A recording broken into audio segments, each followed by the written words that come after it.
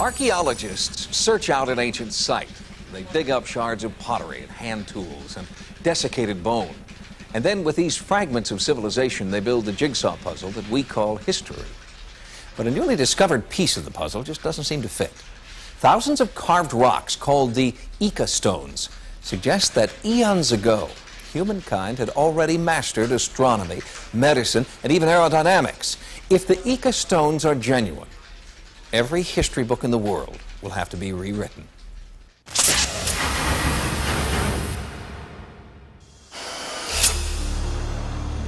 I traveled to the small, bustling town of Ica in central Peru and was surprised to find that perhaps the greatest archaeological discovery of the 20th century was not being kept in a guarded vault or an illustrious university, but in the private museum of Dr. Javier Cabrera. There I found these carved stones, about 15,000 of them, that Dr. Cabrera claims were largely discovered in the nearby mountains in the mid-1960s. The Ica stones depict knowledge that ancient peoples are not supposed to possess. Here, a prehistoric astronomer studies a comet through a telescope. This is a view of the Earth, complete with all seven continents as seen from space. There are scenes of sophisticated medical procedures as performed by ancient surgeons. Dr. Cabrera, this is obviously a, this is a surgery here. What, what do we see here? Transplant of cerebro. Of the brain? The brain. How old are these stones, which so accurately depict modern procedures like this heart transplant? It has been impossible to scientifically date them, but this carving of a man riding a pterodactyl seems to indicate a time well before humankind was known to walk on Earth. La paleontología nos dice Paleontologists and anthropologists tell us that the dinosaurs disappeared 65 million years ago and that man appeared during the last million years. But the stones tell us something else. energy of the human being.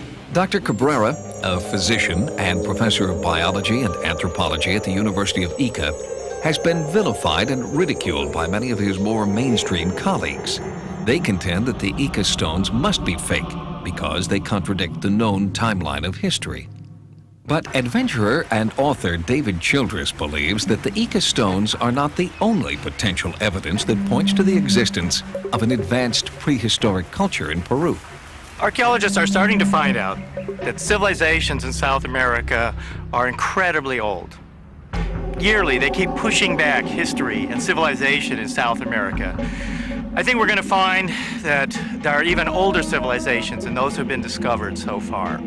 Evidence of an advanced prehistoric civilization is supported by the legend of Viracocha, a mysterious stranger who was said to travel from town to town, spreading secret knowledge. The Peruvian story of Viracocha is that Viracocha landed in the area of Ica. Perhaps someone from Atlantis or some other lost civilization is is is now a, a, refugee from his own homeland because it's gone, and he, he literally walks the earth, going from town to town, city to city, and nation to nation, teaching the civilized arts of his ancient country. If they are genuine, the Ica stones will provide scientific support for what is now only legend.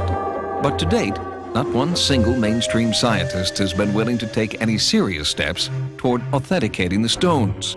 Dr. Cabrera's collection is so fantastic, so amazing, that official archaeologists just simply refuse to have a look at them. They, they're just impossible by, by normal historical standards. Yet what we have with Dr. Cabrera may be something that is so important in a historical way with Peru that we've got to look at it. And we've got to either authenticate once and for all these stones or disprove them. Why do you think some scientists have been so skeptical, so slow to accept the story of the stones? Are they threatened by them? Por cuanto los arqueólogos decían que estas piezas Archaeologists have said these stones are falsifications. If there's one thing I regret, it is not having someone who seconds my opinion. soy simplemente un investigador I am simply an isolated investigator whom others attack by saying that these images are things, in reality, that I myself ordered engraved. Skepticism about the origin of the Ica stones began with the discovery itself. Newspaper accounts were vague, describing the stones as part of a secret hoard found at an undisclosed location. The police, suspecting grave robbing or antiquities smuggling, interrogated Basilio Mendoza, who was said to be selling similar stones to tourists. When questioned by police, Mendoza claimed that he had carved all 15,000 of the stones himself. He also sent a confession to the newspapers. Case closed, as far as archaeologists are concerned. But before you return a verdict of guilty, consider this. If Mendoza had stuck to his original story of finding the Ica stones at an ancient burial site, he would have been charged with a violation of the country's strict antiquities protection law, a crime punishable by a lengthy prison term. By claiming he had manufactured the stones himself, Basilio Mendoza was able to both keep out of jail and continue selling the stones. When the stones are put in their proper order, the message I read has not only to do with Peru and its territories, but with the world. And although this sounds like an exaggeration, the universe.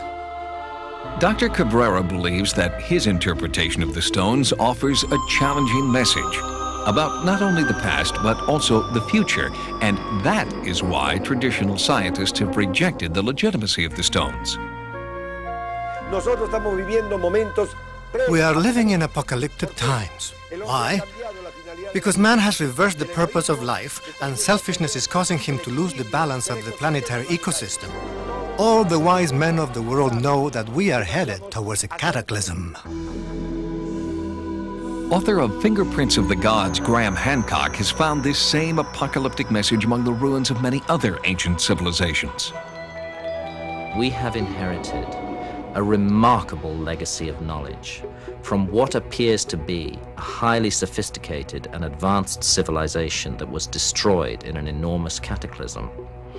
And what this legacy repeatedly and urgently warns us of is that the cataclysm will recur. These warnings may sound extreme, but there is scientific evidence that, through the millennia, major Earth changes have significantly altered our planet what artifacts could survive this kind of global cataclysm? Not wood, not paper, but stone. Many researchers, like Graham Hancock, believe in the existence of an advanced civilization predating the Stone Age, but do not believe that the Ica stones are genuine. Others, like Dr. Javier Cabrera, adamantly believe in the legitimacy of the stones and insist that they are among the most important artifacts ever discovered.